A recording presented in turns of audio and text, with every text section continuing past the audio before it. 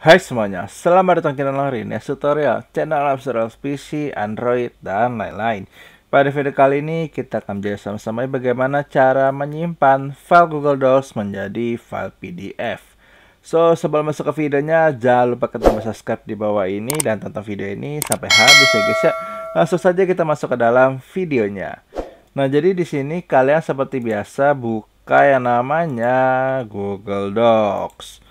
Kalau misalkan kalian bingung, kalian bisa langsung aja cari di mesin pencarian itu yang namanya Google Docs.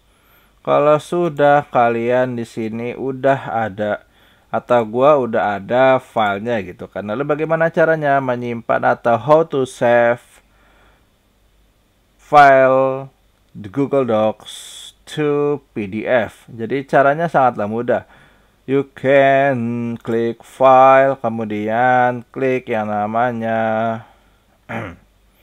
Sebenarnya sangatlah mudah. Untuk untuk bikin ke PDF kalian klik download.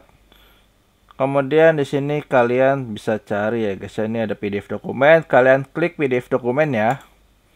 Dan tunggu beberapa saat.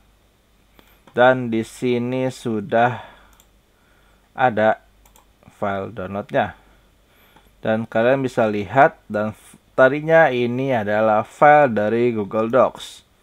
Nih buat pembandingnya kita ini dulu di sini. Nah see can you can see this is ini file Google Docs dan ini adalah file PDF so mudah banget bukan cara menyimpan file Google Docs ke PDF jadi caranya klik file, kemudian kalian sebenarnya langsung aja sih klik download atau unduh gitu kan, klik cari yang PDF.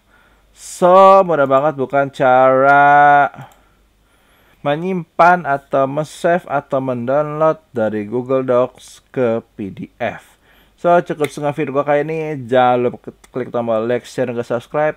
Thank you for watching and bye-bye.